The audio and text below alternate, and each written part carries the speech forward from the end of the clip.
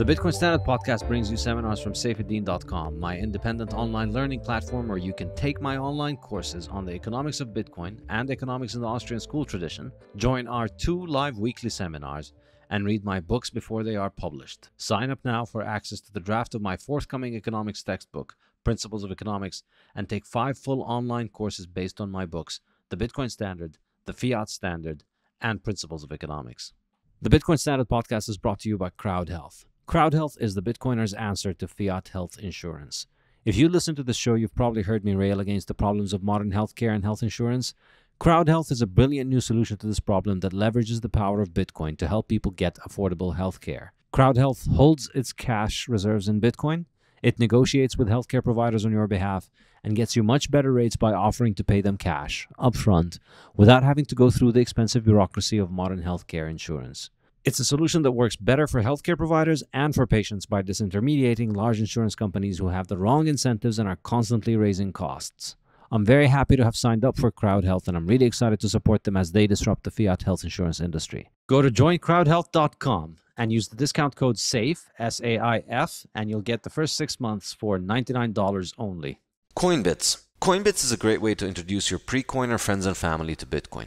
Get them set up in under a minute and help kickstart their journey by turning everyday spare change into Bitcoin. This Bitcoin only app takes the uncertainty and fear out of Bitcoin saving by rounding up debit and credit card purchases to the nearest dollar, then using the difference to buy Bitcoin. Set it, forget it, and let the app automatically tax your high time preference spending by saving the hardest money ever. Want to save in Bitcoin faster? Customers can multiply their roundups up to 10x or adjust their savings frequency for weekly or daily Bitcoin stacking. Coinbits is built on a sound, tried and true dollar cost averaging strategy that turns Bitcoin's volatility in your favor. Once you've gotten a private wallet set up, Coinbits encourages you to withdraw your Bitcoin to your own private wallet and embrace the Bitcoin standard way of life. Start stacking on coinbitsapp.com and save your time and energy in the soundest money ever. The Bitcoin Standard podcast is brought to you by CoinKite. CoinKite are my favorite makers of Bitcoin hardware. They produced the legendary Opendime, the first Bitcoin bearer asset, as well as the reliable Coldcard hardware wallet, the excellent stainless steel seed plates for storing your seed phrases, and the block clock. Now, CoinKite have produced the Sats card, a card the size of a credit card which can store Bitcoin and works great as a gift.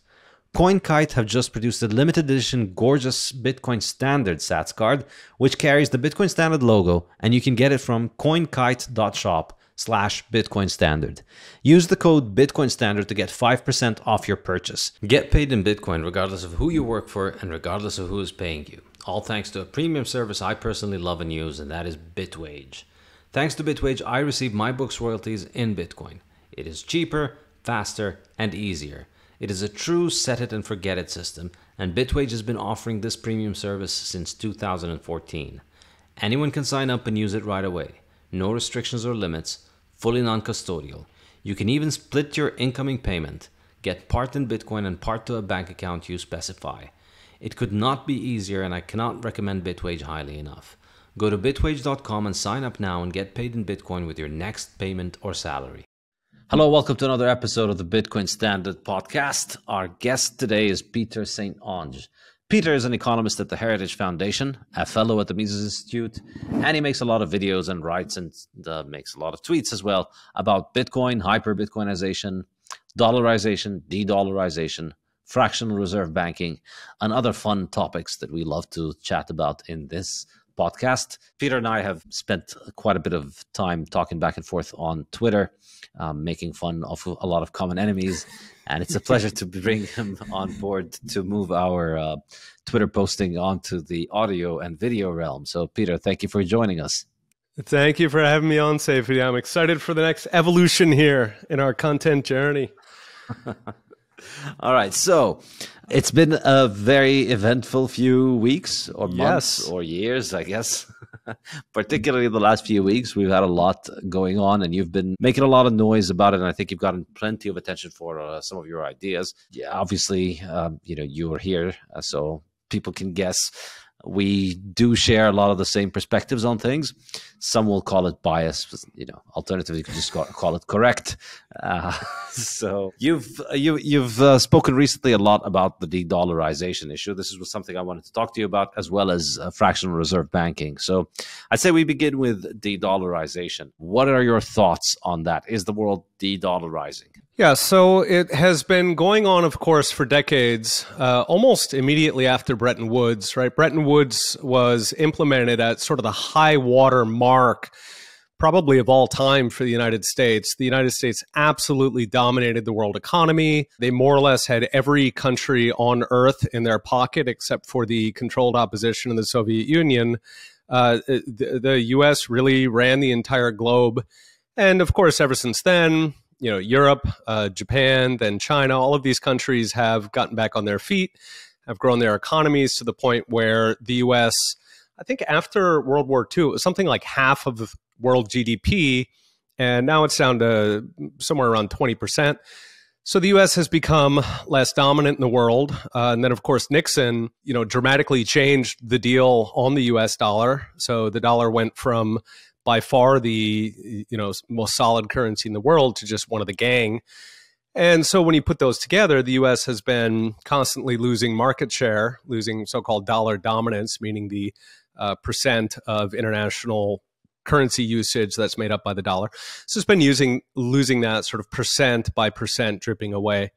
And I think that one of the you know things that really put that process into the news again. Uh, you had mentioned about a year ago uh, on an episode about the Ukraine conflict, and within that, you know, of course, the U.S. seized the Russian central bank. Uh, assets, including U.S. dollars. You know, even during the Cold War, there had been almost a gentleman's agreement. You know, the U.S. and the Soviets were having proxy wars all over the world. The more, the merrier. It's good for business. And even during that time, never did the US contemplate seizing the dollars of the enemy. And the reason, of course, is it is it is in our interest that everything in the world, including cartel transactions, including arms sales to our enemies, we want everything in the world to be standardized on the dollar because that gives us the exorbitant privilege of printing up green pieces of pieces of paper and making foreigners give us uh, useful things for them. Yeah, absolutely. I think, uh, yeah, we uh, you mentioned we had this uh, earlier episode where we discussed it, and I think, uh, I mean, I'll uh, I'll say something that's probably not going to be uh, what my listeners usually expect to hear from me, but I generally don't feel very confident with all of these predictions of the dollar's doom. You you know, you noticed a few weeks ago Balaji Srinivasan. I think, I hope I'm not butchering the pronunciation of his name, but he's a, a prominent VC in Silicon Valley and in the shitcoin world. And he came out with a tweet saying Bitcoin is going to hit uh, $1 million in uh, 90 days. And he even bet money on that, which I think was an extremely misguided uh, bet because uh, he bet $1 million versus one Bitcoin. So uh, he basically stand, stands to make very little if he's correct, and he stands to lose a lot if he's uh, wrong. So like he could have just bought futures and made a lot more money. But I guess you know the point was to raise alarm about this. Yes. Now I wrote a thread about uh, I wrote a thread about why I think that's not the case, and primarily it's he says you know there's a banking crisis, and so because of the banking crisis, the currency is going to get destroyed. But you know the U.S. dollar is uh, not going to get destroyed in three months. I think if you've been through hyperinflation, you know you look at the chart and you see toward the end of the hyperinflation before the currency dies it does skyrocket, it does go parabolic, but that's really it takes a lot of time relatively to get to that point. So even in a place like Lebanon, where the government is extremely dysfunctional, extremely corrupt, where you know they have a massively uh, overfunded train authority and they have zero trains in the entire country. in that kind of country, it's true, and in that kind of country, even after the banks started uh, basically declared bankrupt. I mean, they didn't declare bankruptcy, but they effectively became bankrupt because they could no longer redeem the dollar deposits that they had on hand, and the, the exchange rate of the currency started to deteriorate against the dollar. There, it took a couple of years for the uh, exchange rate to fall at a very fast pace. And even it's it's been almost 4 years you know it was July 2019 when when when a black market rate emerged when there was an official rate and a black market rate.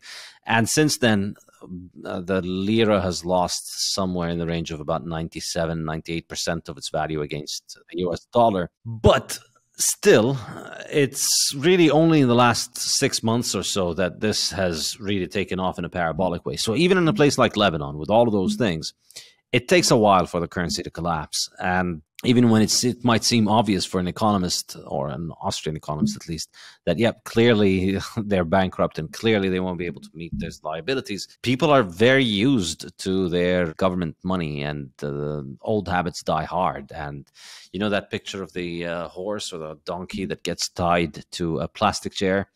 There's a lot of that, that people just uh, are, are so used to getting tied and not moving like these horses or donkeys that you could tie them onto a, a, a plastic chair that is uh, very light and very easy for them to move, but they still won't move because they are used to being chained. And I think yeah. national currencies are a little bit like that. So the point I'm trying to make from this long tangent is that once you kind of get Bitcoin and you realize just how corrupt and defunct and dysfunctional the current fiat monetary system is, it's impossible to escape the conclusion that it's all going to fall apart next week or in the next three months. It's just it's it, it, happened to me in 2008 it happens to everybody i know you know when they first get it when they first take the austrian pill there's always oh, it's all going to fall apart next week. And then it doesn't. And then right. you just think all right maybe the week after that and then maybe the week after that and so the collapse of the dollar is one of those things. So for me, like 2008, it was obvious the dollar is going to be toast and it's done. And here we are 15 years later. We're still seeing obituaries of the dollar every day.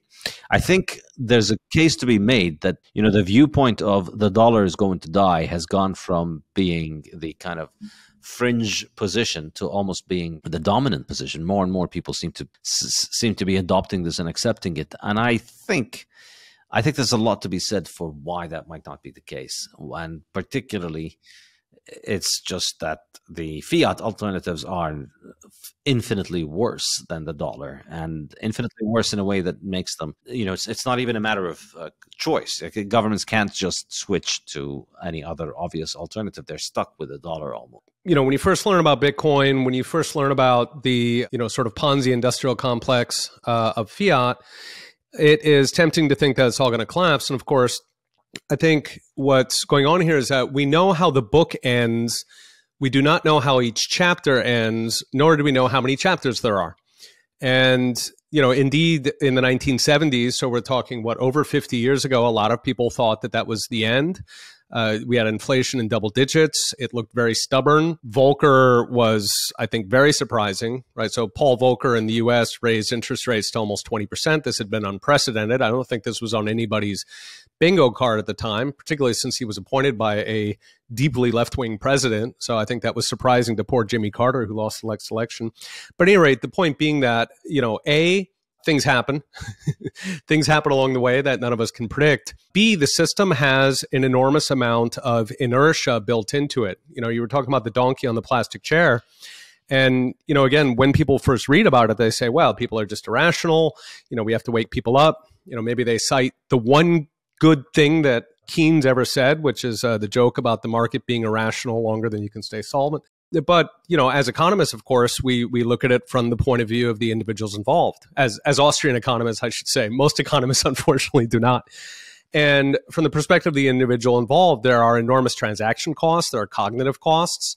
Uh, you see people coming to Bitcoin all the time who say, "My God, you know, is this thing even real? What is this thing?" And it takes time. You know, we I, I think you and I both, when we're orange pilling people, you kind of tell them buy a little bit, go to you know Swan Bitcoin or whatever, uh, dollar cost average in, just kind of get used to it, read a little bit. Uh, it takes a long time to break out of that. Uh, for a lot of people, for perfectly rational reasons, right? So, sort of on a biological basis, we are paid in survival to overestimate risks, right? So, you know, if there's some rustling in the forest and you think it's a tiger, you know, evolutionarily useful to pretend it's a tiger, whether or not it's a tiger, right? The guy who did not do that, the guy who was perfectly rational and said, ah, calm down, calm down. Statistically, it's just, you know, whatever, uh, a leaf falling. Well, he is no longer here. So he's not part of the conversation anymore. He didn't make it. Now, at the same time, you know, so again, looking at sort of the perspective of the people involved, we can kind of play devil's advocate and say, okay, well, the de dollarization, the death of the dollar, what is that up against? And, you know, number one is the network effect, right? So there are massive, enormous network effects built into the system on an individual level, right? This is largely what sustains national currencies is that, you know, even in a country like El Salvador or, you know, really it takes a sort of Zimbabwe level incompetence to break people out of the built in network effect of whatever currency they happen to be using. Uh, and that's also true on a global basis. And then, meanwhile, the other point that you mentioned, which is the cleanest dirty shirt, right? So the US doesn't, or the US dollar does not have to be perfect. It just has to be better than the euro or the Canadian dollar or the Japanese yen or the Swiss franc, which is not what it used to be. And so, you know, really, it, it, it's sort of um, a convoy system where until the day when all fiat dies, you know, people are going to naturally sort of gravitate, especially in times of crisis, they're going to uh, move towards the dollar. We saw that in 2008, where the crisis itself was coming out of the United States. And so naively, you might have said, well, this is going to be quite bad for the dollar. And of course, it was not. Right. On the contrary, it was something that scared people all over the world. It, it launched a uh, sovereign crisis in Europe. As a result, paradoxically, all of these people moved into the US dollar. And so, you know, this is, uh, uh, I mean, I think as we get towards the death of fiat, one of the paradoxical things we'll see is that even if the source of that is coming from the US, in other words, say US inflation with all the other countries uh, sort of keeping up with it or seeing it as a license, even if the source of the end, the source of the crisis is coming from the US, we may see the dollar get stronger leading towards the end because uh, uh, you know, it's sort of like um, it feasts on the corpses of the you know weaker currencies along the way. So every little you know Ecuadorian or uh, I mean Ecuador literally uses the dollar now, so it's a good example. But you know every um, uh, middling currency that dies along Zimbabwean, the way, Zimbabwean, yeah. Argentinian, bingo, exactly, yeah. Uh, so uh, it, paradoxically, I think the dollar will be the last to go in, in sort of a meta sense of you know uh, when when Bitcoin. Um, but in terms of what's happening now, I think that more accepting the sort of black black swan scenario where China actually implements a gold backed currency, uh, accepting that Deus ex machina, I think the most likely scenario for a de-dollarization would be death by a thousand cuts. So, you know, China more or less bribes African countries and uh, Middle Eastern and Latin America. It just kind of goes down its list very methodically and tries to pay countries subsidies to shift off the dollar. And each one of those, you know, puts a sort of very small uh, price hit or, or, buying power hit onto the dollar. And then I suppose their hope would be that if you put enough of those together, then you can tip the scale and you can start moving the dollar enough that Japanese banks and all of these sort of legitimate uh, holders start to question it. So outside of some, you know, either catastrophic policy shift from the U.S. and again the U.S. relative to other countries, uh, or that you know gold Deus Ex, I think that would really be, you know, the, the, sort of the smartest move for China. Now, of course, China is probably the only country in the world that is capable of that kind of disciplined long march. You know, if we look at what they do with Taiwan, with the uh, diplomatic isolation that it imposes on Taiwan, they're they're really quite impressive as an adversary. you know, the U.S. kind of pops in and does a couple sound bites and uh, hands out some money and then goes home. No, China is extremely disciplined. So I think it's within reality that China could do that kind of methodological march, just stamp on and on. You know, reduce the U.S. dollar share in the IMF, just one after the other, cut off the exits the way it's been doing with Taiwan. But as you say, that's going to be a very long process, not something that's going to happen in three weeks. Yeah, I mean, I think my my view on it is that it's uh, for a very long time. It almost seemed as if simply governments deciding, hey, you know, we don't want to play with the dollar anymore, was going to be uh, a, a, death sentence for the dollar. And I mean, it was. It almost seems as if you know it's just that the U.S. has all these puppet regimes all over the world, And if those puppet regimes just decide to stop being US puppets, uh, then they're going to switch away from the dollar and then the dollar collapses. But I think, you know, with time, as my hair gets grayer and uh, my emotions quiet down and my brain hopefully takes over, although who knows.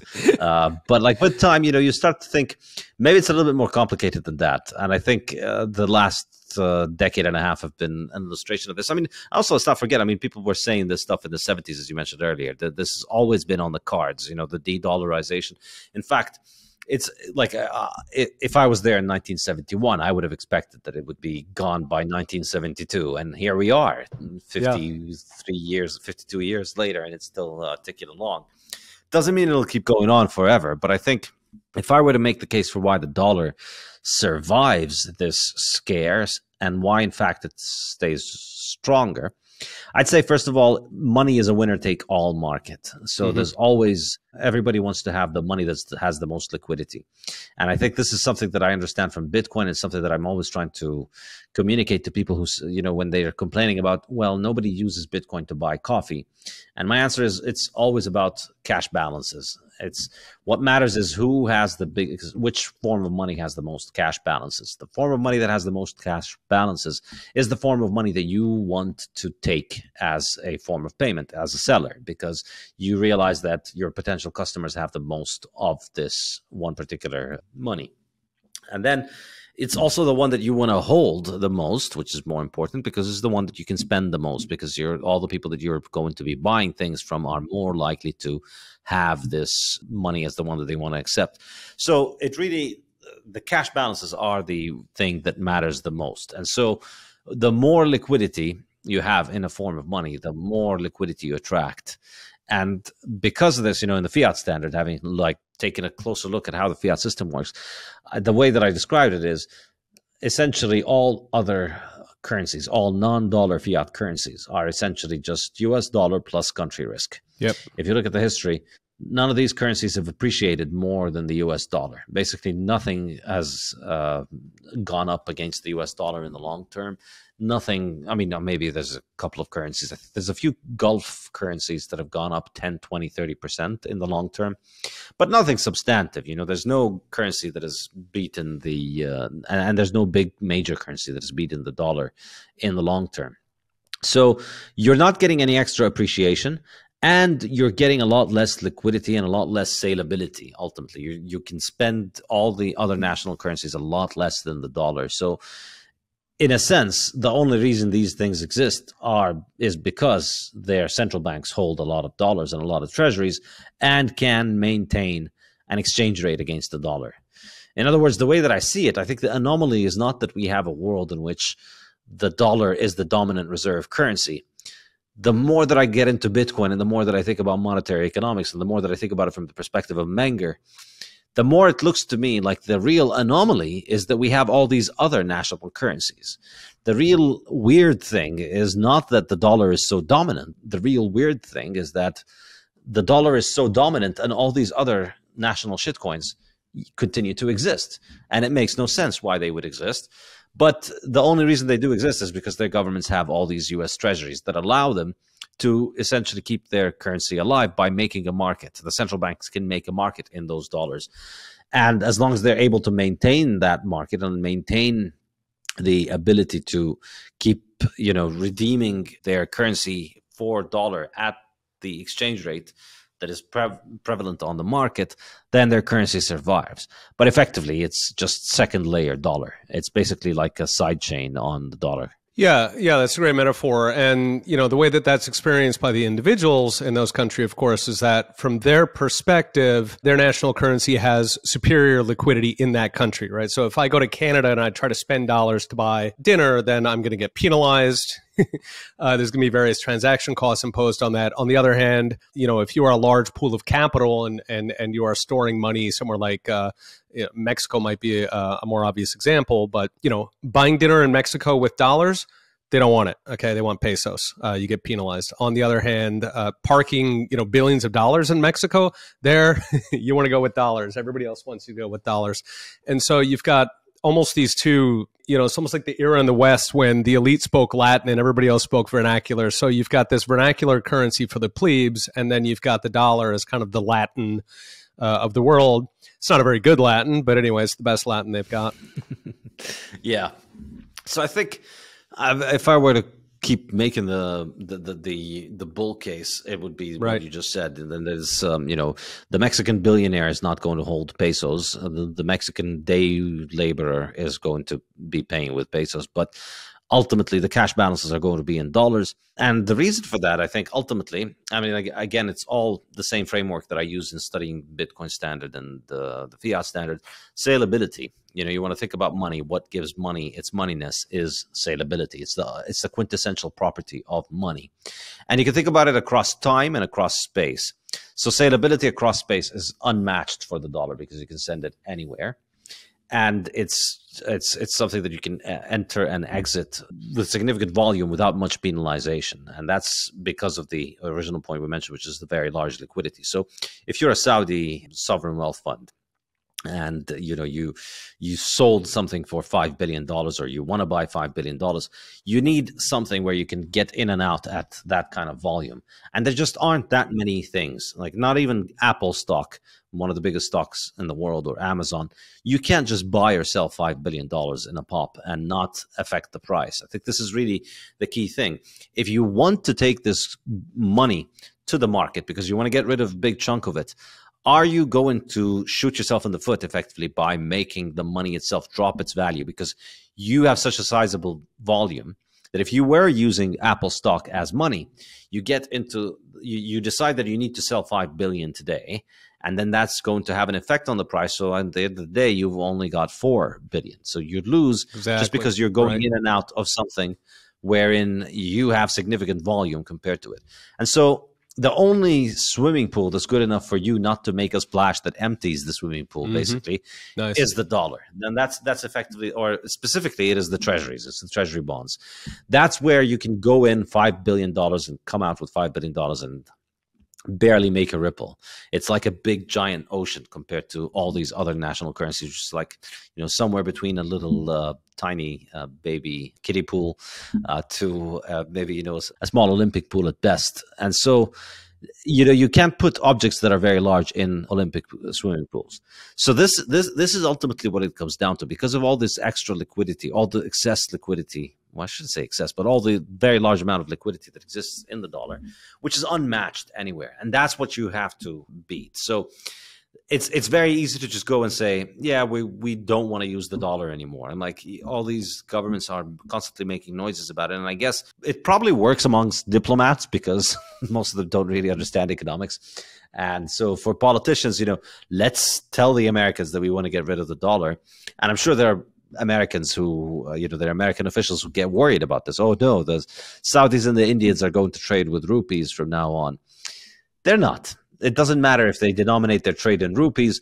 The Saudi central bank isn't going to hold rupees because they don't need rupees for anything but trade with India. So they don't need to hold the rupees. They can just, you know, calculate and settle at the end of the day. And if they do get paid in rupees, they're going to sell them immediately because they want to hold something that is liquid. They want to increase their position in the thing that is most liquid. They don't want to take on, you know, they don't want to have to start worrying about Indian monetary policy in their reserves.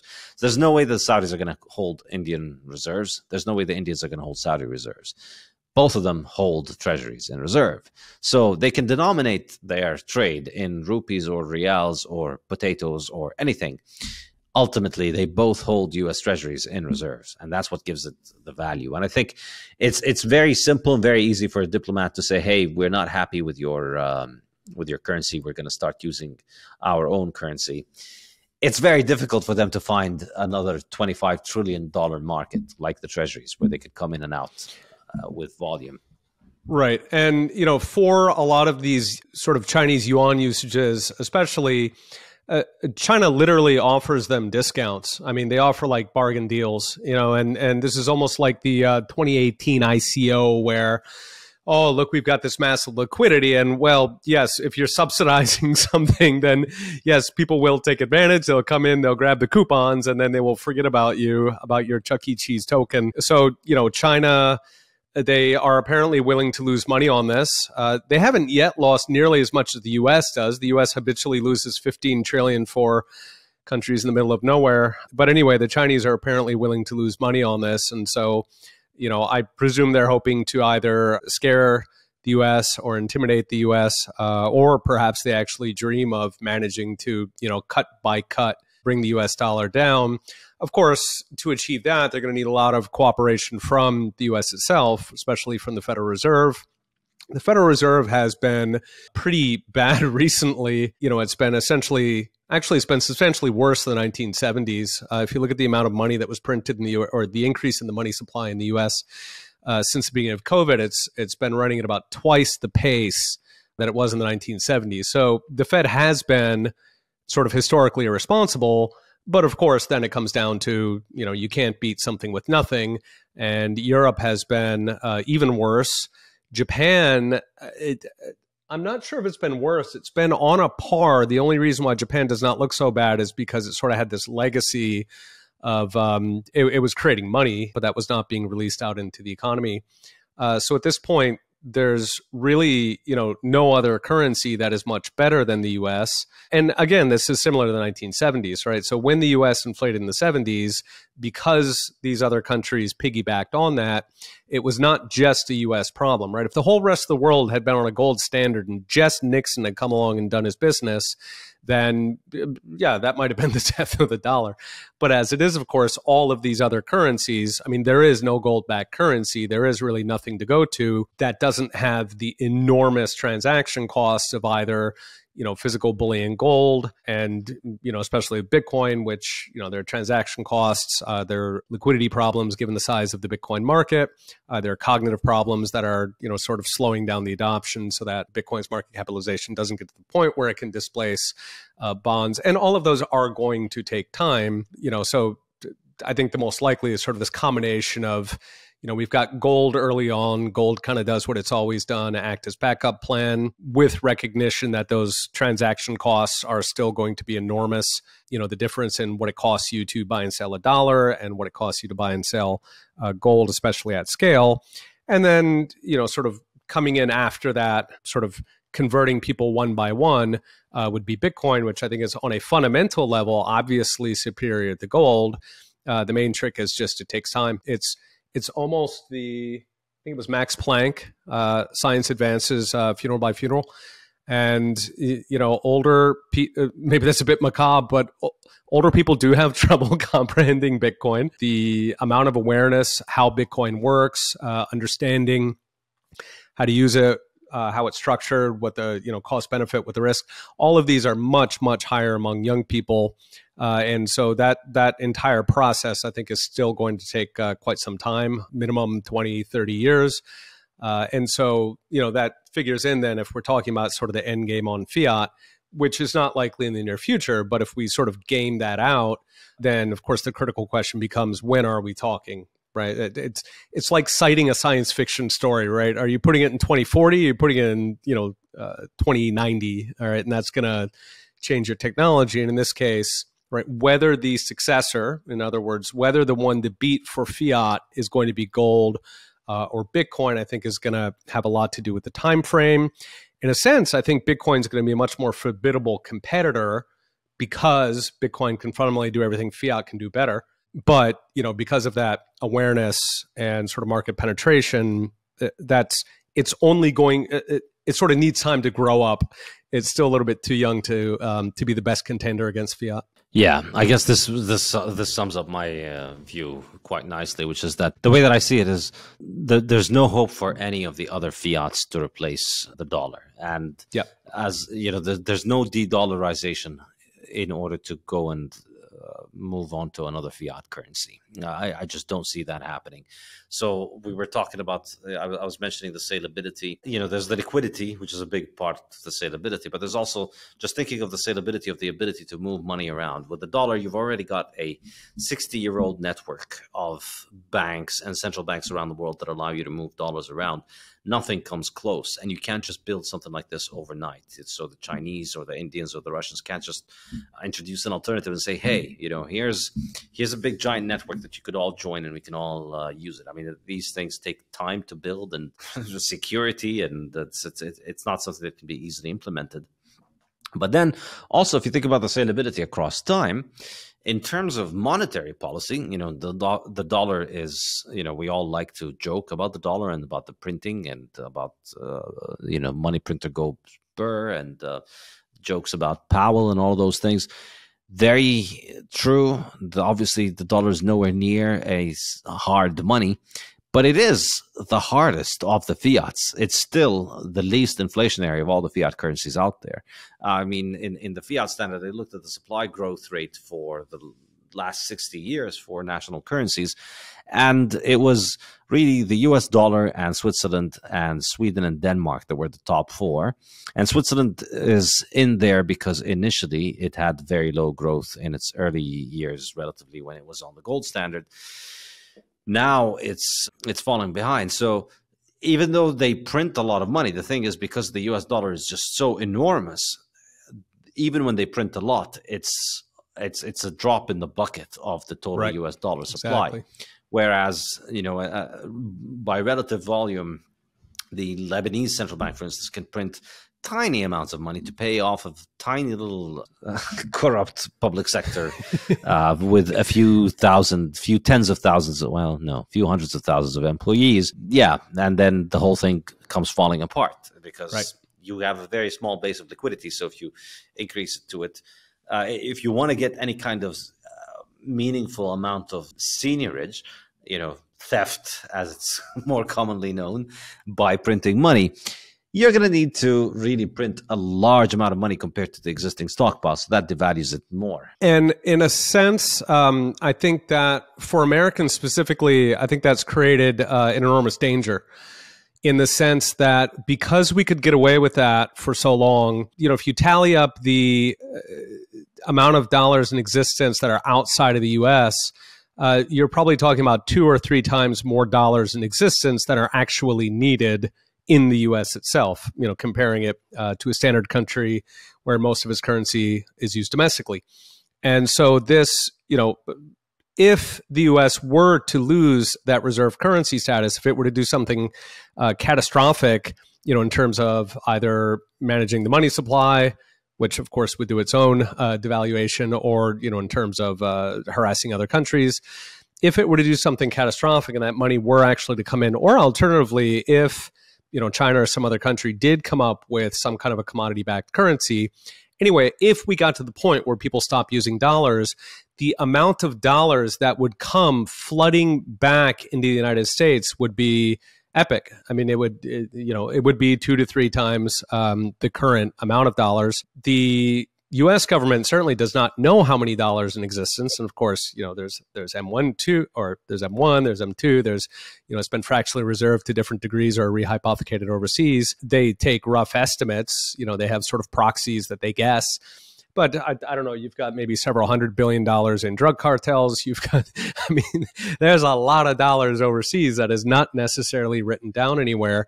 And if that comes back, then I think it would be catastrophic for the American people who are, you know, notably the only people in the world who are actually obligated by law to use the US dollar are Americans.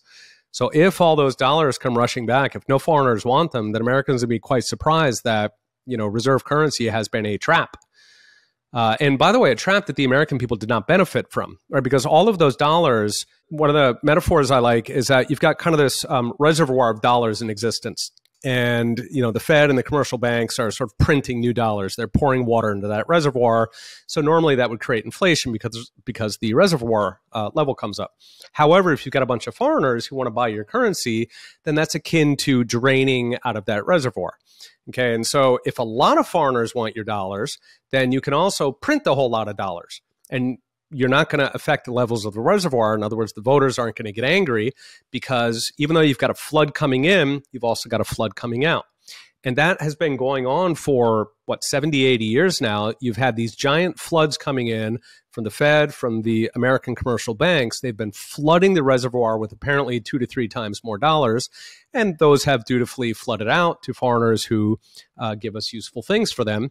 So, of course, if you get to a point now, you know, it, it it's a bit like climbing up a cliff halfway, right? So, without equipment. Like maybe you shouldn't have done it, right? Unless you were perfectly confident that you could always maintain that reserve currency status, don't do it, right? Because if that does reverse, all of that comes flooding back at once. This is part of the reason why I worry about China going the gold route.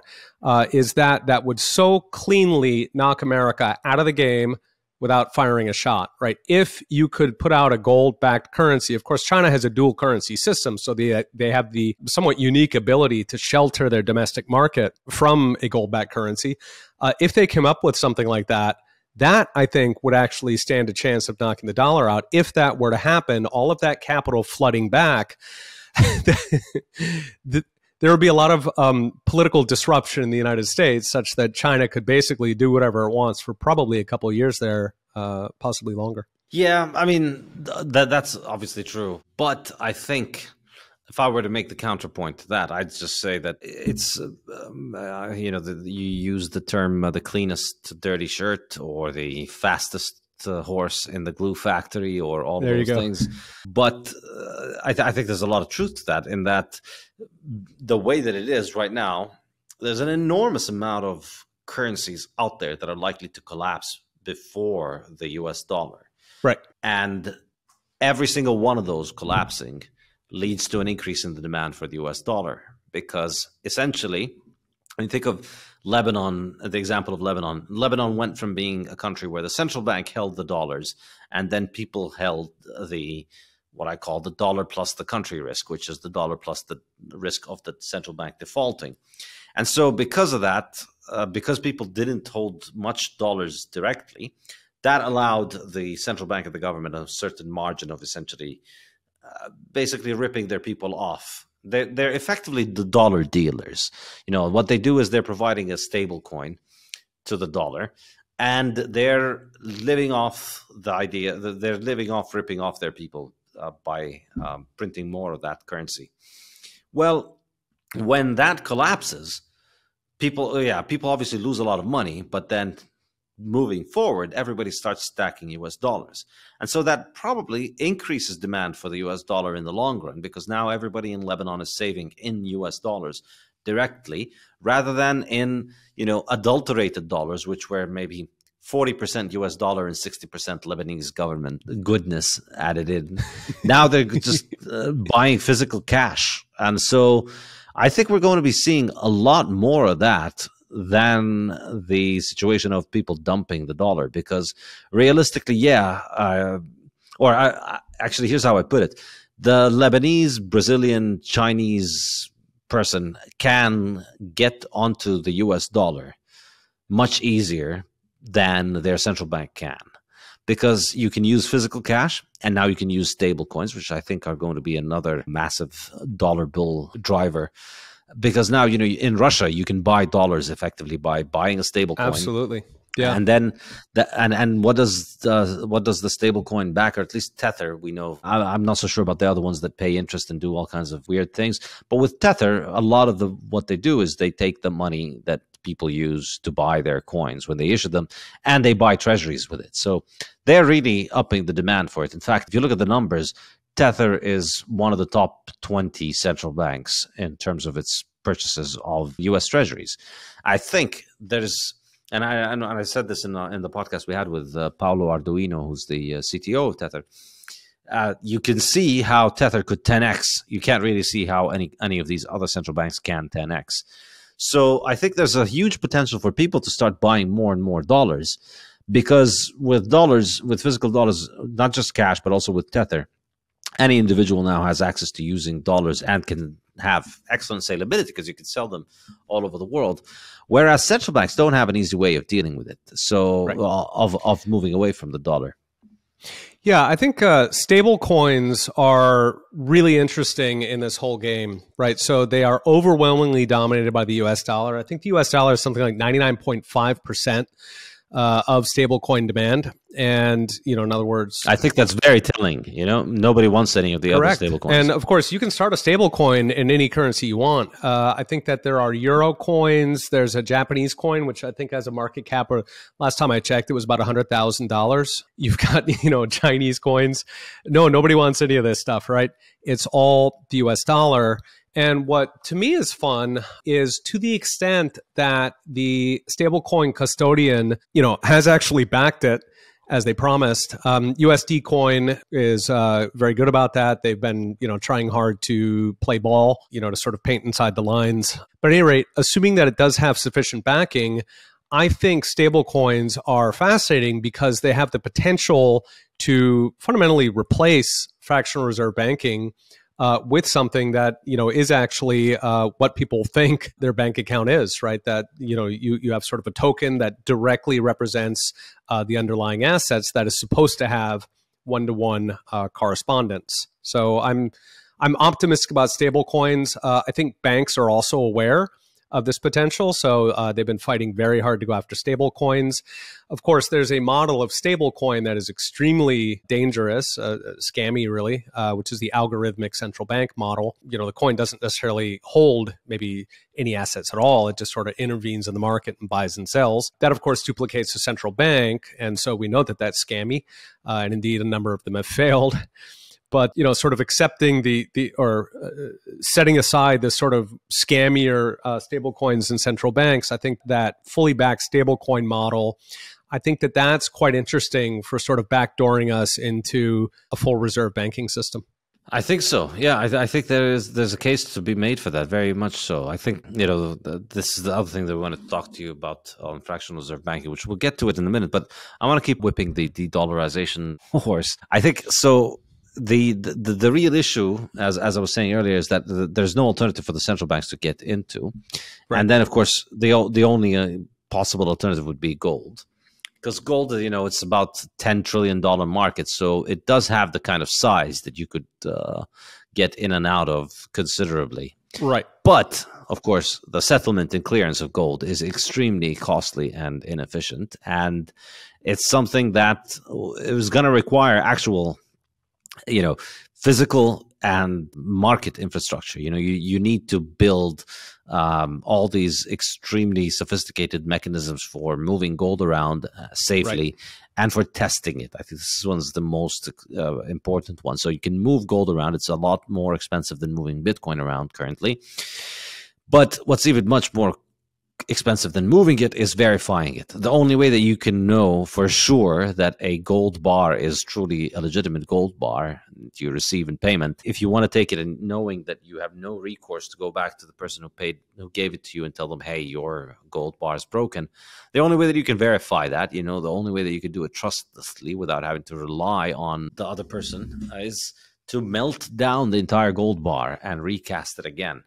And that's pretty expensive. So, it's you know it's it's it's it's not feasible for uh, in my opinion to do it in a year or two for all these governments to figure out a way where they're going to implement their own gold verification system and then start trading with it. And of course, you can't just have one central gold verification system. We already have the LBMA, and you know you can't just take your. Uh, you, you never really know how Uh, their system works. Their gold, if you want to verify your gold your gold bar, you take it out. You have to take it out and pull it out of the system. So you can't, you, you don't really know if the gold bar is still there. You don't know if it's actually right. a real gold bar. And and I don't, right. and you know, the LBMA is what gave us modern central banks. So I think if you were going to be doing something between in a in a multipolar world, you're going to need to have you know all these governments all over the world build the infrastructure for trading gold. I don't see that happening because it's just extremely expensive and time consuming, and it's not something that the world has even uh, begun to consider doing seriously. Yeah, and that's why, you know, many times through history, fiat has been tried. And generally, once you go fiat, you don't gradually shift over to gold, right? You you sort of need to fall off a cliff. Something really bad has to happen in order to go back to gold.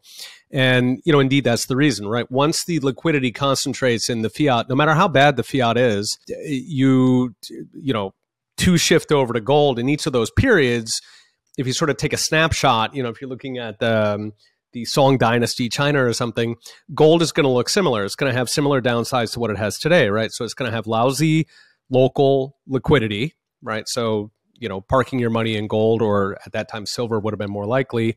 Uh, that is going to impose enormous costs. Gold, of course, ironically, given why people love gold, uh, gold has a number of fundamental flaws that are all to do with its physical nature.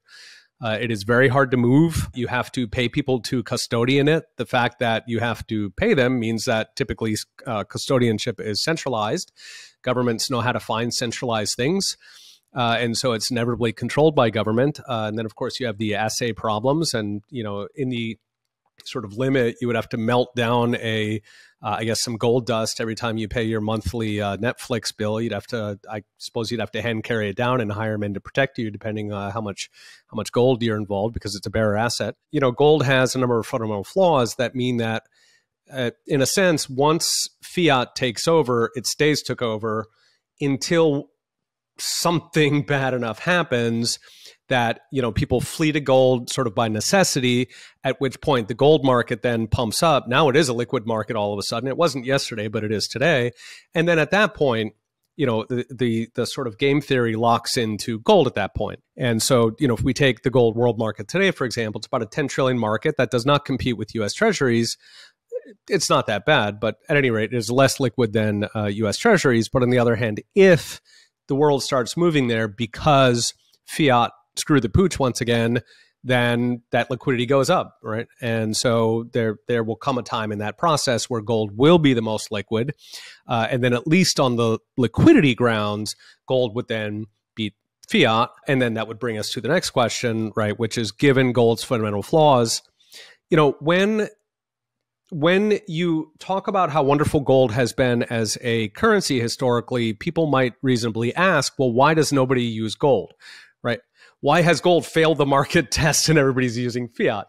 And, you know, I think the answer to that is that violence pays. Gold is physically vulnerable. Governments, you know, it's always been a risk, especially, you know, once you have a complicated economy that is depending on intermediaries to, you know, move value across distance, you necessarily you have people involved who have street addresses and government is very good at finding street addresses and imposing their will on them. You know, I think in a combination uh, of those really you know, the only way that gold comes in would be an absolute disaster.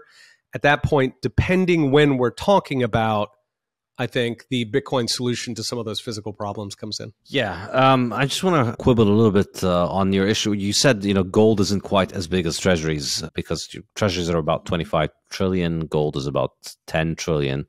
Yeah. But I think the key point here is that treasuries are not one fungible asset. There are all kinds of different treasuries yep. different durations and different uh, issue dates. And so these individual treasuries are not as big as gold. And that's that's I think a key point in the favor of gold. Why gold in my opinion is infinitely better money than treasuries because 1 ounce of gold equals to 1 ounce of gold although you know there's tungsten in a lot of these ounces these days, but uh, theoretically, at least, we could verify it definitely beats the U.S. Treasuries in the, in the, in that regard. Yeah, and and and you're right. There are a lot of transactions in Treasuries where they're looking for a specific duration for whatever reason, right? That they, they have like a target uh, interest rate or a target volatility, uh, and so right, indeed, for for a lot of that market, uh, gold is actually more liquid today. And then you know it's a separate question of the custodian, the sort of underdeveloped uh, transmission markets, the higher transaction costs, which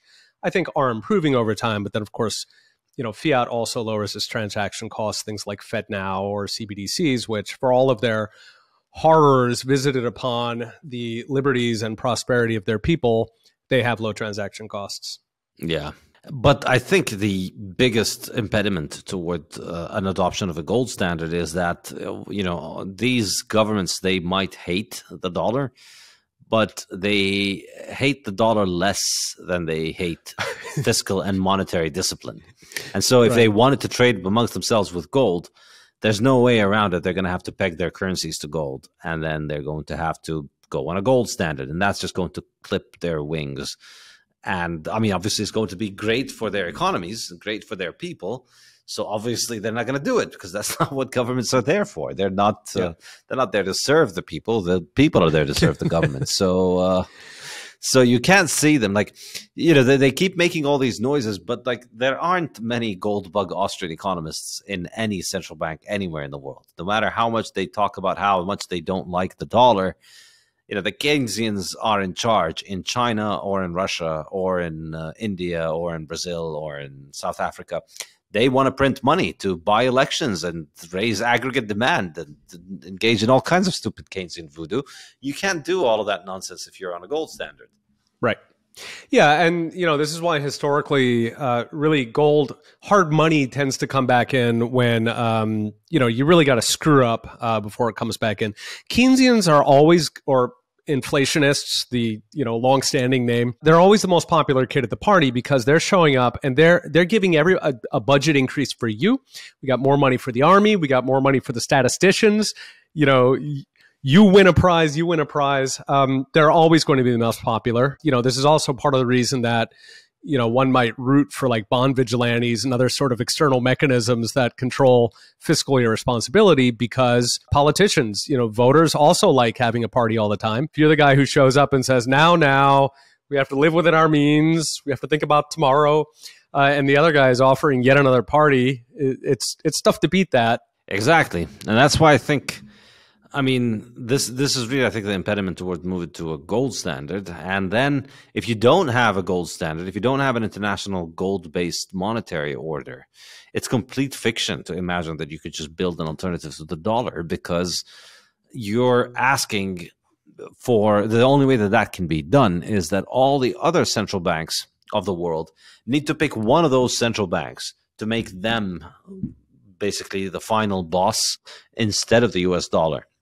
So it doesn't solve anything for anybody. It's just saying, hey, I mean, the, the, the best case scenario is China goes to all those countries and says, hey, you don't enjoy the dollar. How about you use the yuan instead, and then let us have all the privilege that the U.S. has? And that's not that's not an attractive proposition. I think many many people and politicians make the idea, which I think is completely unworkable, this idea that we can use a basket of our own currencies, or we can use a basket of commodities right. as the global reserve currency. You can't do that. There has to be one currency. There has to be one thing because if you're mixing in all a bunch of thing a bunch of things together, all that you're doing is that just eh, the, the monetary policy is about who decides what goes into that basket and then it's the same thing. So there's always going to be a person in charge of this effectively. Yeah. And, you know, China, I think the sort of most realistic scenario for that would be that China would have to make it in everybody's interest. They would have to pay significant sums of money. Uh, it may not approach the you know whatever trillion plus uh, that the U.S. wastes on its empire, but it would certainly have to waste a lot of money on its own emerging empire in order to get there. Because on its own, right, countries it wouldn't be in their interest. And I think they would have to surmount the transaction costs inherent in that sort of bi-currency system, which we we have had in periods in history. We've had uh, gold and silver coexist, uh, but it's unstable. Normally, it's going one way or the other. If China was trying to buy their way into it, uh, and sort of you know get the ball rolling and try to get critical mass on that, I think it would be grotesquely expensive. The cost of it would depend on how much cooperation they get from the U.S. Uh, specifically, how irresponsible Fed policy is. You know, possibly if the U.S. is is shooting itself in the foot in other ways with sanctions or sanctions like activities. So if they got a lot of help, from the US. If the US were irresponsible and as stupid as it's been, then you know it'd be expensive, but I think that's doable for China without having to go to the gold backing route or, or you know something out of the game like that. On the other hand, you know it it it would be extremely expensive uh, for China, and if the U.S. is you know maintains any modicum of responsibility, then it would take a very long time uh, and a high cost for China, assuming it's China. Yeah. Yeah, as right. as China. I think ultimately, you know, uh, at this point, the percentage of global reserves in the Chinese yuan is um, basically three. you round down yeah. to zero. Yeah, it's like nothing. two or three or something exactly. like that. It's basically yeah. nothing. And uh, I think there's a very good reason for that. And the main reason is that China doesn't have an open capital account. You can't just move money in and out of China. So not only do they not have the same level of liquidity that the Treasury has, they are not even trying. They're not even in that race. They are making it illegal for you to even try and pump the size of their cash balances. It's you can't buy in and out of Chinese capital markets easily, and so that is a complete non-starter. That's why you know the the Saudis issue press releases instead of just dumping their treasuries and buying Chinese bonds, and that would be the you know. you know the line from the good, the bad, and the ugly. If you're going to shoot, shoot. Don't talk. That's why all these central banks are talking. They talk about getting rid of the dollar, but really, if you actually wanted to get rid of the dollar, you wouldn't talk about it. You would you would go out and say we are committed to a lifelong relationship with the US dollar because we believe it is the strongest most important best currency that the world has ever known and you would dump your dollars and treasuries while you're Yeah, doing exactly. that you know Right. you, you you'd want to drum up the value of those things talk them up and then dump your treasuries and buy chinese bonds but these bonds don't exist uh, or i mean they do exist but i mean the possibility of buying them as a, as a monetary asset doesn't exist as long as China has closed capital accounts. And that's that's really the tricky part. I, I tweeted this the other day. There's that quote by Ronnie Coleman, uh, eighth time I think Olympia champion, the, the- one of the best bodybuilders in history, and he says, "Everybody wants to be a bodybuilder, but nobody wants to lift heavy ass weights." Everybody wants to get rid of the U.S. dollar, but nobody wants to have a global reserve currency that, because that entails, you know, no, nobody wants to open their capital account. Nobody wants to have responsible monetary policy, and that's that's what it comes down to, in my opinion. Yeah, and so you know, you could imagine China, for example, more or less putting out a currency that they don't necessarily use. Right. I think usually when we talk about new fiats, you know, we sort of implicitly assume that the country is going to be uh, using it at home. But right, China has this kind of almost dual currency. It's got the the external yuan and the internal yuan, and so in a sense, it would be I don't know, almost like how the euro is used in some parts of the world. You know, it, it's just sort of this this imaginary sort of outside currency, and you know that scenario I could see China doing. Then it avoids the sort of uh, at home costs of actually having a hard currency. But again, that's something that would be tremendously expensive, I think, for them to maintain, and they would need an enormous amount of cooperation from the U.S. to actually continue shooting themselves in the foot. How how would that work? Like, how would you maintain two different currencies, two different exchange rates?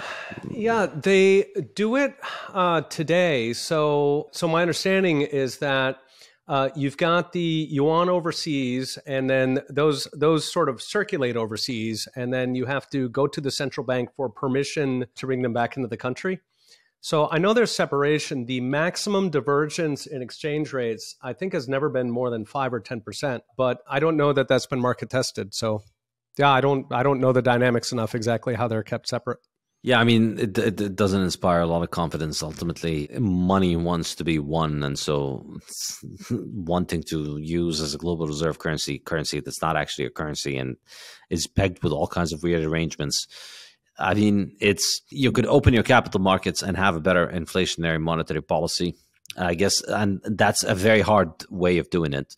Or I guess let's put it this way: de-dollarization can happen at three levels. There's press releases, which everybody's always doing. You know, just the other day, Kenya and the Emirates announced that they're not going to use the dollar, as if you know they're going to be holding each other's currencies. So there's the press release de-dollarization, which everybody does every two weeks. Then there's the you know win on the economic battlefield, which is open up your capital markets, make a better dollar, and offer the world's banks, everybody on the world's banks and central banks, the ability to use your currency and just outcompete the dollar on the uh, marketplace. And then there, and that's the sort of uh, intermediate level of de-dollarization. And then there's the advanced level of de-dollarization, and that entails winning a world war against the U.S. That's that's the most difficult one. So I guess you know the, the, this is this would be my explanation for why we keep hearing about de-dollarization. We keep hearing about it because the first option, the the press release de-dollarization, is a lot easier than the actual real world de-dollarization options. Oh yeah, absolutely right. And you know the best press releases are going to lead to is, I mean, in practice, you know, China subsidizing usage, and then you know again that drips off a little bit here, a little bit there, At best, it's death by a thousand cuts. But you know the sort of intermediate scenario where Chinese, uh, let's say Chinese currency actually outcompetes, you know, accepting them gold backing it, which would then require them to either have a, you know, hard monetary policy, which is probably not interested in, or in having some mechanism to actually wall them off more than a five to 10 point spread. You know, it, it's, it's difficult beyond that sort of out of the game improvement in the Chinese currency to imagine uh, competing currency to currency uh, again, unless I mean, you know, the U.S. would have to have policy that is substantially worse even than it is today. Yeah, which is why, in my mind, I think it's just I don't see de-dollarization happening with any other fiat currencies, but I do see it happening with Bitcoin because ultimately the scoreboard. If you want to beat the dollar, if you want to replace the dollar, there's one scoreboard. There's one metric that you need to win, and that's the size of cash balances. So currently, the treasuries and the US dollars globally are about 30, 32 trillion dollars. That's the bar. You know, that's the total amount of dollars that are held by the world and the total amount of treasury bonds. That's what makes dollars the most liquid thing. None of the others are even none, none of the national central banks are even fighting in are even playing that race because playing that race requires you to have open capital markets, non-inflationary monetary policy, and all of that stuff. So they're not even trying to increase their cash balances beyond the dollar. But I know someone who is, and it goes by the name of Bitcoin. mm-hmm. I mean, it's still at a very low level. It's only a few. It's only what six hundred billion dollars right now, so it's at a. It's higher uh, recently, but yes, yes, yeah. We've been having a great week here uh, as we're recording, but yeah, yeah, I mean it's still what uh, one fifteenth or something of gold at the moment. Yeah, exactly. Yep. So it's it's one fiftieth of the total U.S. dollar uh, right. treasuries uh, complex. So yeah, it's only three percent, but you know it's Bitcoin is built on the number go up technology, and it is going up and it doesn't have a central bank that is going to uh, kneecap it while it's going up. So if it keeps going up, it becomes the biggest cash balances. Eventually, it has to. I mean, if it just keeps going up and the dollar keeps going down in terms of real value, it's not going to be this year. Might maybe five years, maybe twenty, maybe fifty, maybe a hundred. But I think my personal opinion is that this is kind of a, an unmistakable trend, and that's yeah. how we're going to get the dollarization. I don't see gold doing it. I don't see any of these other things doing it. I think it's. I think my, my, the way that I'd look at it is that the threat to the dollar from other fiat currencies is like the threat to Bitcoin from other digital currencies. There, there is no second best, and it's really just the world. It's just going to be a some time for the world to figure out the fact that there are there is no second best fiat and there is no second best crypto, and then those two are going to go head to head. I, uh, so I don't think the difference is that big, in my opinion, um, between say the dollar and the euro. You know, there is a conceivable point where the U.S. Uh, prints so much money or has such irresponsible uh, money supply that that I think, let's just say, the euro, uh, to take something more realistic, uh, could take over from it. This would be completely different from Bitcoin, where I think the, the shitcoins have no hope. That uh, just, I mean, forget about it. Yeah, but I mean, you know, the Europeans don't have military bases in the U.S. The U.S. has military bases in Europe. I think it that does, but that that complicates things. Yeah, I mean, I I'd be curious. I don't know enough about, let's say, uh, late Roman history. You know, so I, I would guess that there were competing fiats, and that to very, you know, this is in the uh, Diocletian stage when they were, you know, sort of going, they were printing a lot, and I mean, I'd be curious um, to know how the, the market share shifted. But I, I, guess I'm just saying that sort of from a from a fundamental architectural perspective, the euro and the dollar work pretty much the same. Yes, I think the U.S. gets a bonus for this sort of security for you know dollarization bargain it pulls. Uh, I think that's a relatively small part of the overseas dollar market. I guess 5% or something around there. Uh, and so it's certainly possible, you know, if the Fed is is sufficiently irresponsible, then I think it can overwhelm that, even though, you know, Germany and Britain don't have uh, cool bases. But you know whereas with with bitcoin uh, i do think it's more structural. But you know at the top we were talking about the sort of chapters versus end of the book. And you know, I think we absolutely agree that uh, we know how the book ends, and you know, the book ends with uh, fiat dying and Bitcoin taking over as the currency. Uh, each chapter, I think, is going to depend on how long that takes. I think we also agree that that's not something that's going to happen, you know, in the next five years or something. Uh, and so, you know, is it going to is fiat going to live long enough that by the time it dies, a sufficiently large number of people understand and use Bitcoin that you know Bitcoin can then um, sort of happily absorb that liquidity and and actually be right because at at that moment I think gold will kind of be the competition and so does that evaporating fiat liquidity you know does it morph or does it uh, I mean, it doesn't quite move, but you know, uh, does it end up uh, in gold or does it end up in Bitcoin? You know, if the process we're talking about is relatively early, I think most likely it ends up getting in gold, and then you have sort of this gradual shift from gold to Bitcoin simply because Bitcoin is better gold. If, on the other hand, fiat's going to live a long time, then I think it's much more likely that we skip the gold phase altogether because by 2050 or 2070, um, enough people know Bitcoin that you know it, it just uh, scooches right over, and the buying power then ports into Bitcoin, and then all of a sudden Bitcoin is by far the most liquid asset. And you'd be completely bonkers to try to use, of course, fiat, but you'd also at that point be bonkers to try to use gold. Yeah, I'll also add one small thing, which is that part of what the European Central Bank holds are U.S. dollar reserves. Right. So the euro, euro is to an extent backed by the dollar itself, and European countries, when they trade with the rest of the world, they use uh, extensively a lot of US dollars. So the size of US dollar reserves globally is about three times as large as the euro. It's about 20% euro and 60% dollar, and then 20% is everything else uh, right. combined.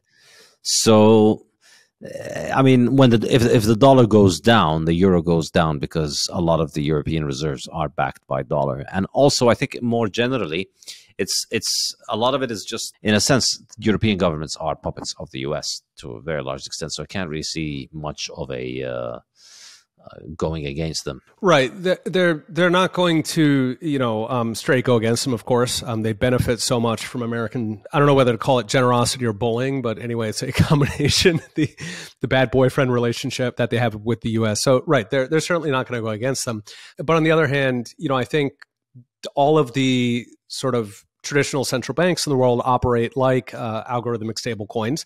They more or less have a number of tokens that float around, and if if demand for the tokens changes too much, then uh, they ingest in some way or the other.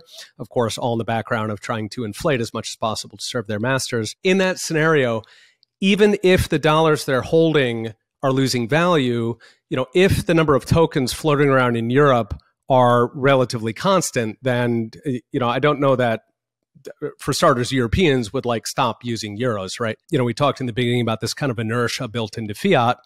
If if we sort of imagine that the dollar hyperinflated, and so now all of the dollars held in in in the ECB uh, have zero value, I don't think anybody day to day in like the streets of Paris are going to stop accepting euros, right? They're just going to regard them as the same euros they ever were.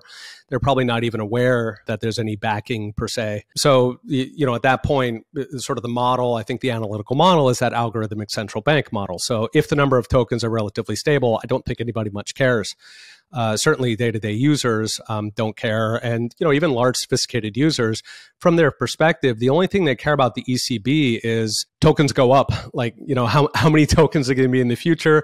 Is there going to be enough demand to soak up all those tokens at you know a given buying power or is that buying power going to change? Um, i'm not sure that they much care uh, what's backing them.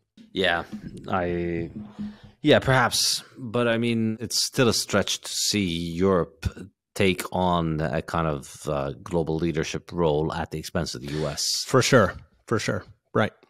Yeah.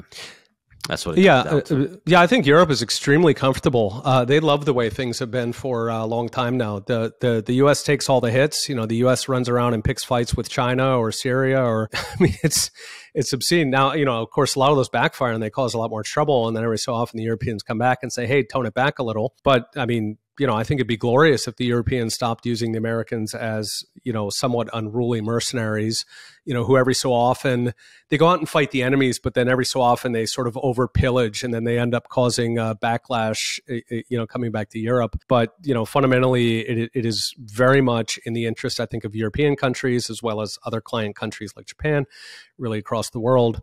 Uh, it's not in the interest of the American people who suffer all of this, but of course, it's very much in the interest of the American elite, and so it it you know it's it's got its game theory equilibria and uh, is likely to continue. Yeah. Yeah, absolutely. Well, so I guess we all agree Bitcoin is going to have to fix this. Always, it's just a question of timeline, and uh, yeah. People call me controversial and call uh-huh. me uh, all kinds of things. You never. Hey, no, I, I've never heard that, Saif. I know. Every, everybody on my podcast agrees that Bitcoin fixes everything. I, I, don't know where they get this from. I've never heard that about you. Always, yeah. No, I've heard the opposite. Yep. Okay. Well, the next thing we wanted to talk about is fractional yes, reserve banking. Fractional reserve. So yeah. the world's the world's uh, well, the U.S.'s banks seem to be in big trouble, and the world in general as well. Credit Suisse is no longer with us. Uh, Silicon Valley and a whole bunch of other uh, U.S. banks are in deep trouble and uh, it's gotten a lot of people to uh, uh, bring up the old debate on fractional reserve banking versus full reserve banking. We both have pretty strong opinions on this. And surprise, surprise, we also happen to agree on this. so, what is your case against fractional reserve banking and why does it create problems? Uh, let's see, it's fundamentally fraud. You know, boiling it down, the bank is accepting your dollar and telling you that it's sitting right there waiting for you anytime you want. It's right here for safekeeping. And it turns out they Xerox it. They, you know, put a little picture there for you and then they go out and lend it. Uh, and so they are effectively uh, duplicating dollars fraudulently.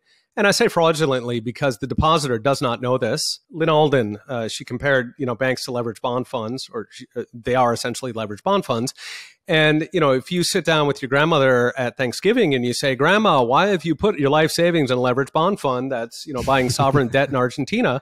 And she'll say, What are you crazy? It's in the bank just up the street. It's right there. Okay, the depositors it's not are in Argentina. Uh, yeah, right. Just like, what are you talking about, right? So the depositors are not aware how fractional reserve works. They think their money is actually there, safe and sound. You know, so that sort of goes to the free market argument that you know sometimes people say, no, no, no, you know, I don't want the government uh, telling you know banks how they can and can't do things.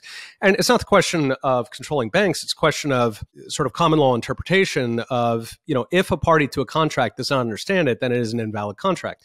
If the other side knows they don't understand it and persists and try to pushing them into it, then that is that is fraud. That has been fraud for a long time. Uh, if I go to an old folks' home and you know I ask them to visit the dementia ward and I try to sell everybody structured finance products, that is going to be considered fraud by any reputable court. And similarly, I would argue that fractional reserve, given that people do not understand it, uh, we know they don't understand it because we have bank runs, but there are also, uh, you know, in other words, when Walmart runs out of eggs, you don't like run home. Oh my God, cash in all of our gift cards. Walmart is done. You know, we got to get our money out before. Uh, no, you just say, well, maybe you'll have eggs tomorrow the way fractional reserve actually works, right? If you show up and your money's not there, then what they should say, if they're telling the truth, they would say, well, we're out of money today, but we'll have more money tomorrow, which is accurate. But why don't people accept that? Why don't they say, oh, shoot, okay, maybe I'll come back early so I can get some of the some of the new supply? No, they completely panic, they freak out. Why? Because they do not understand how it works. And then the next question is how would you structure it, right? So you know that's sort of the standard opposition is is you know this is crazy talk. These are crazy Austrians doing their thing again. And so I think it's you know useful to sort of sketch out what a full reserve bank system would look like. Uh, so today, about one out of five deposits are in checking accounts. The rest of them, the other eighty percent, are in savings accounts uh, if we uh, that's actually been lower in the past, by the way, that went up because of ZIRP. So there, there's very little uh, penalty to holding one over the other. Uh, traditionally, it was more like 10% uh, that was in checking accounts. Anyway, so if we imagine a full reserve system, then the way it would be structured is uh, any demand deposit, in other words, money payable in the moment.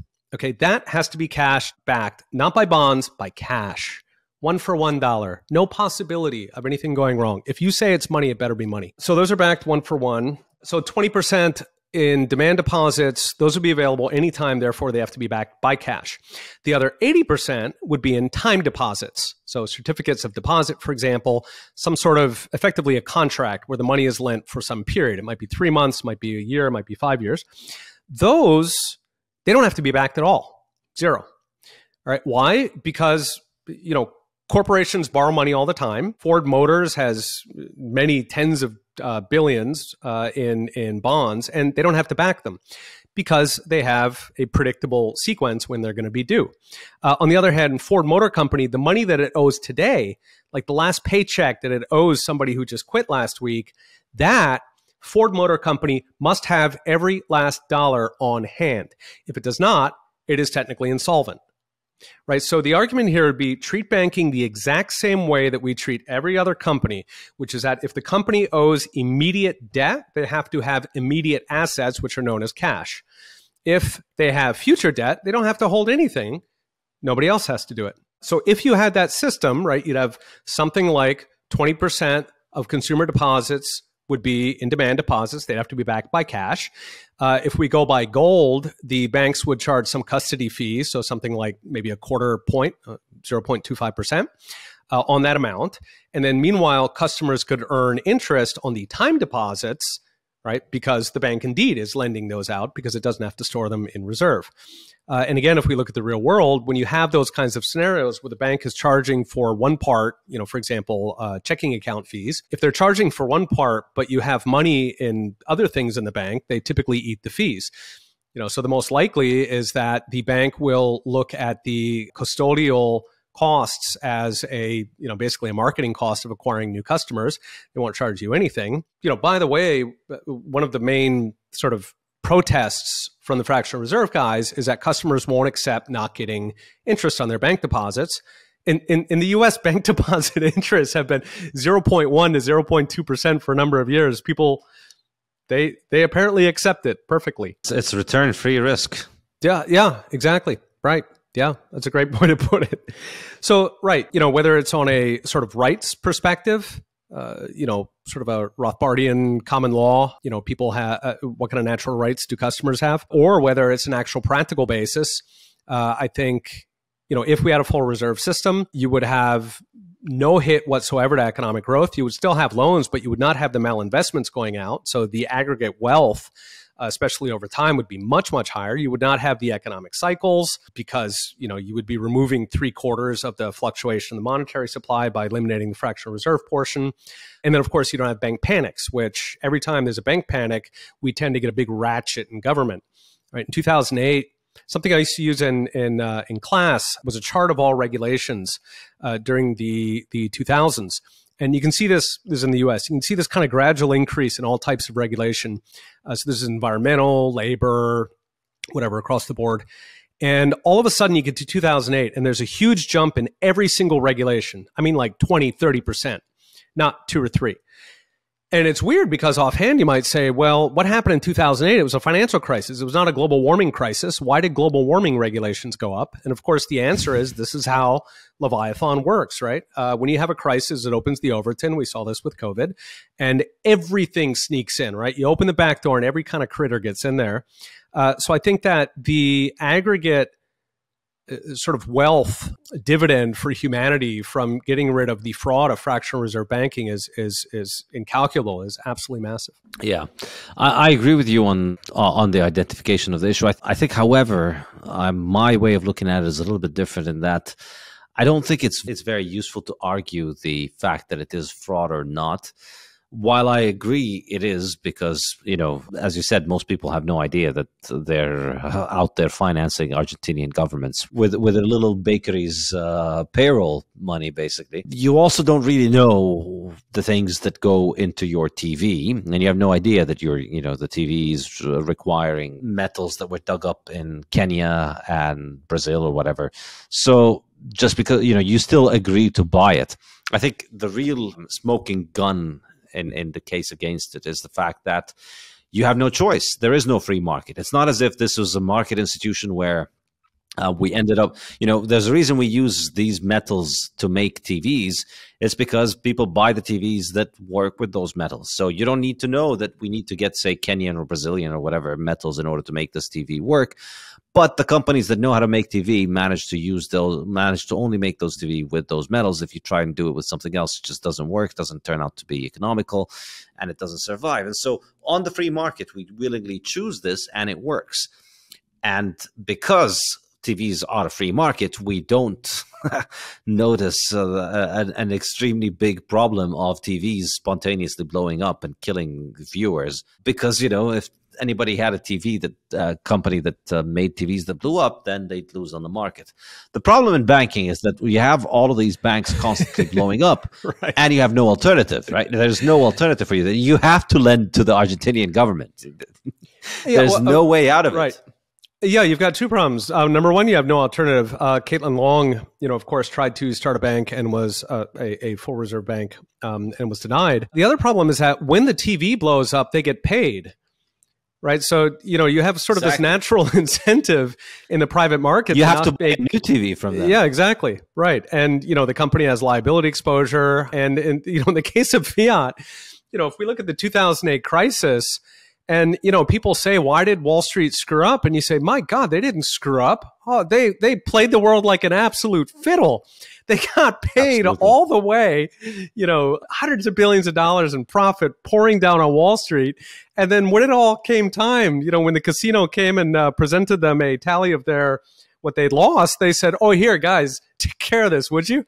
I mean boy, I, I, I can see why they keep doing it. Yeah, they get paid. Exactly. It's a very lucrative mistake to make. I mean, this sure is, is. This is the, this is I, I, call it the department of very lucrative mistakes in fiat. Yes. It's, it's a very common thing because when you don't have uh, the accountability and when you have a money printer, it pays to mess things up because you always get bailed out. And so. Yeah the reason that fractional reserve banking uh, has won is not because it won on the market. It's not like the choice of TVs. It's won because it's a monopoly and it and it manages to externalize its costs onto its victims. So either the either the you know the bankers are going to make out fine, even if the bank goes down. It's the depositors that are and the share well the depositors and maybe the shareholders, but you know the management is going to be all right likely.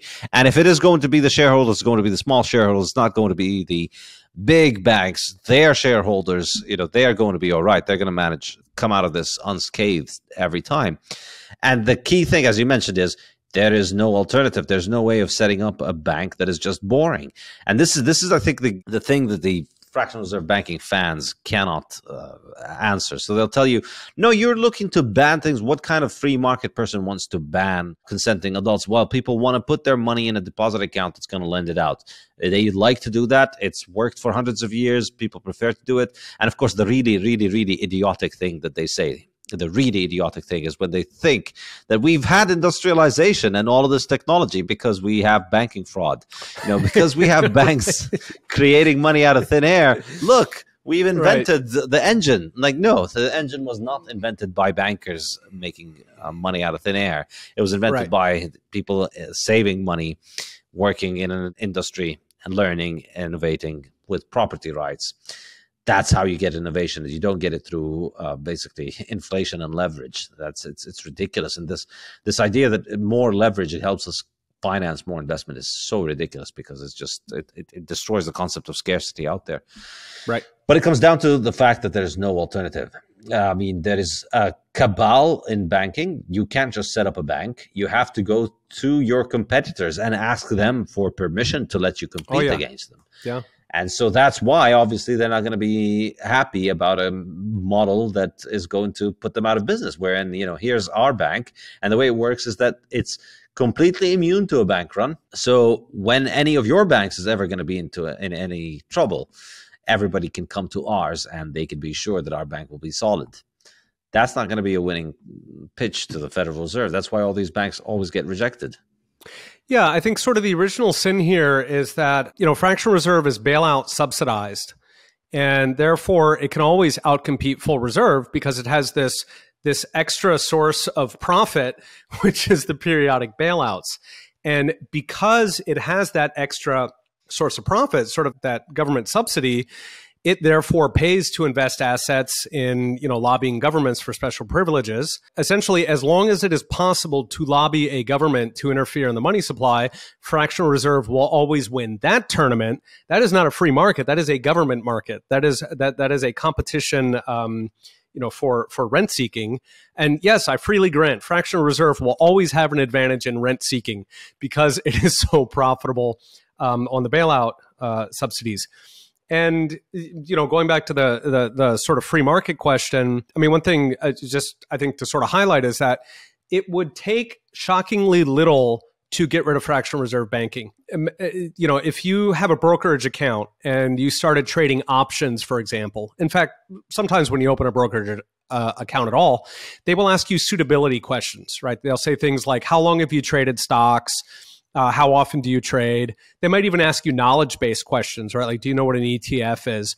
All right. And the reason they do that, uh, in some cases, mandate, but the reason they they're they're happy to do that is because that protects them in case you wipe out and there's like a lawsuit for negligence where they can say, well, no, we had you know we had a a, a reason to believe that this person knew what they were doing. And in the US, anyway, that suitability process is laid out. There's a specific FASB regulation, it's sort of buried deep in it. Uh, that is, at least from a regulatory perspective, that's where that thing comes from. But, but you know, the sort of suitability, what it's trying to do, that's something that has long existed in common law. In order to get rid of fractional reserve banking, really, that's all you have to do. On a nuts and bolts level, you just change that little FASB rule so that you say that it is including demand deposits that you know people are not presumed to understand fractional reserve and poof you know at that point the bank would have to sit down. They'd have to actually you know give people some kind of knowledge test. Most people would have no idea what they're talking about. Uh, yeah. therefore uh, you know from a common law perspective they would not be qualified to bet in you know naked options or fractional reserve banking um, if George Soros walks in the room, then yes, he's qualified. Uh, I'm certain that he understands how fractional reserve banking works for a number of reasons. But normal people, you know, you would have a massive contraction just naturally under, you know, common law processes where, yes, you would have a fractional reserve banking system, but the only people participating in it would be in people who actually understand the risk which by the way at that point if the thing crashes you don't have nearly the sort of human shields that you have when our current banking system crashes right? So you know we saw it in living color with uh, silicon valley bank where you know all these vcs were you know they had their head out begging and they were talking about you know the single mother in ohio who's just trying to feed her family with etsy. And they're very good at you know uh, sort of wheeling out the human shields to claim that you know they are the thin green line between us and the abyss. Uh, on the other hand, if you had a system where just through common law mechanisms, only sophisticated people were in fractional reserve, well, then we can, you know, see what that world would look like by looking at hedge funds, right? When a hedge fund crashes, nobody cares. They die alone, as they should. And that's how it should work with bank collapses as well. If everybody there were, you know, sophisticated investors and rich guys, they wouldn't have the human shields. I think uh, you know my preferred way of getting rid of fractional reserve banking would be just to get rid of the FDIC or get rid of the Federal Reserve. If you didn't have a central bank, if you had hard right. money, and if you had a free market in banking, uh, then you just cannot have it; it'll die. And people here will bring up, "Oh well, there was a central, there was fractional reserve banking in the 19th century." Yeah, and it kept on getting into crises and it kept on getting bailed out. And the only reason it continued to survive was because banking was not a free market. Yes, there was not a central bank. It wasn't quite the communist hellhole uh, that we have now. But that doesn't mean that it was a true free market. If it was a true free market, it would have been a lot better at handling fractional reserve banking getting rid of it. Yeah. No, I was going to say I'm I'm completely on board. Uh, you know, get rid of the FDIC, get rid of the Fed. Um, completely there. I think that the trick with the FDIC is that is that human shields problem. Right. So as long as grandma has her money in, you know, the Argentinian bond funds when she thinks it's in a coffee can on the fridge, the political logic uh, is just going to be completely irresistible. So even if you do fight long and hard, years long slog and kill the FDIC, it'll pop right back in in like six hours at the next bank crisis. Uh, the Fed, of I, course. I, I mean, yeah. Yeah, yeah. If yeah. you kill the FDIC, but if you kill the Fed, if you don't have a Fed, then exactly know, it doesn't matter what the grandma thinks. Either she's going to go bankrupt or she's going to learn her lesson. either way, there's not going to be an FRB. There's not going to be fractional reserve banking. That's that's what I really can think. It's um, it's I mean it's it's absurd when you think about it. Like there are all these startups that in the Silicon Valley example, they didn't want to take a risk with their payroll money. Like it's already a highly risky thing to get into a startup, and you already have the money. You know, you've gotten the funders, they've given you the money, you have payroll for the next six months, you have it in your bank account because you don't want to risk paying off your employees for the next six months. You want to stand by them. So that's the part of your business that you do not want to take risk in. And it's it's it's it's really pernicious. And I discussed this in the fiat standard. What fiat does is that it takes away from people the ability to save. It takes away from them the ability to have a nest egg uh, where they can, you know, this is the thing that we don't risk. This is the thing that we keep in the most liquid, least risky thing so that we can maintain its value as much as possible into the future. If you have that, you can take risks with everything else. But we don't have that because, yep. as you said, you know, it's more important for bankers to be able to use you as a human shield for their hedge fund. And so, what is what's supposed to be your security is being gambled and therefore you are constantly insecure no matter what you do and so you're just taking on more and more risk with this and it's just completely unthinkable the idea that there's no market demand for banking as a simple bailment service. You know? sure, just right. keep my money there. Just keep my yeah. money there. Yeah, well, and and you know we're seeing that in stable coins. Um, you know, stable coins don't pay interest, and there there is a lot of money that is perfectly happy just to be stored uh, in a stable coin. A lot of it, you know, it's it's not all transactional. A lot of it is actually sitting there durably, so it starts to resemble dollar savings. So we know just from the stablecoin industry, you know, we can infer from Caitlin Long's application that uh, at least uh, competent entrepreneurs believed that there was a large market for that. So, and you know, of course, the easy way would just be, well, okay, Fed, um, uh, Fed, OCC, you know, regulators, prove it, you know, allow it, and then see if the market actually wants it. And you know, we could say this with free bankers as well, who claim that fictional reserve has won the market test. Well, okay, prove it. So you guys, instead of sitting around defending fractional reserve, you advocate to free up the market, and then we'll see. You know, if people actually understand uh, bailment versus getting paid 0.15% to send your money off to Argentina, we'll see which one uh, grandma prefers. Absolutely. Yeah. Um, not holding my breath that they'll uh, they'll look into that. Yeah. All right, and don't want to hold you up anymore. No worries. Yeah, this was fun. I, I didn't expect it to go this long. I'm actually thrilled that it did. So yeah, there's there's a lot to talk about. So yeah, I really appreciate it. I know we definitely got to have you on again, and I'm sure we're going to get a lot of uh, eventful things taking place that are going to call for this. Jonathan Newman was talking about it. He said, um, you know, when the world collapses, it it's horrible, but it puts meat on the table for Austrians. So um, there's there's there's some truth. To, I would prefer the world stop breaking, but um, yes, there is truth to that. Uh, when they screw things up, all of a sudden, you know, economists who understand how the world works become very in demand. Absolutely, I don't think we're going to be out of demand for a while. Yeah. All right. Well, thank you so much for joining us, Peter. And yeah, of uh, course. Best of luck on all you do. Yes, definitely. Yeah, I'm looking forward to here. Put my uh, my battle face on. All right, All right Safety. Thank you for having me on. Really, seriously, I appreciate it.